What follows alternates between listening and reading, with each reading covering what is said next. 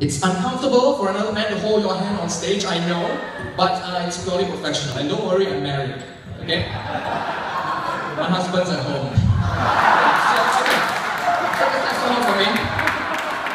Um, that was the biggest laugh of the night. Thank you very much.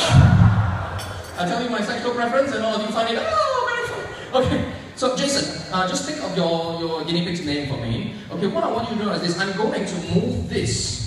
Forget about your hand. Completely forget about your hand. I'm going to move this crystal from here across to here. Somewhere along these lines, okay? And what I want you to do is, as this thing is moving along, I want you to count the number of letters that are in this guinea pig's name. Just in your mind, nothing out loud, okay? Ready? Hang on, let me just calibrate this a little bit. Okay, good. I'm going to say go and you just spell the name in your mind. Ready? Go.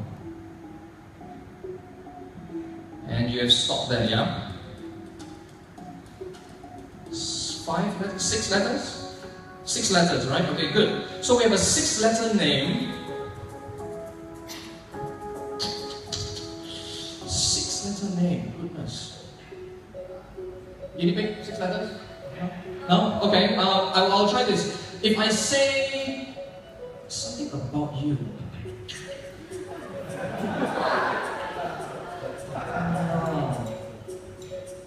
Okay, I, am gonna write this down. It's it's gonna be hilarious, I think, but but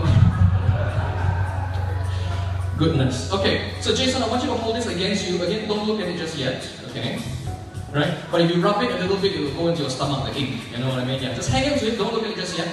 Okay. So let's have a look at Jason's little. You've never had a guinea pig, it's a nightmare. I, I used to have five guinea pigs. I wake up and they're like, nightmare, I tell you. Okay, so Jason, what is this? You ready for this? Oui, oui.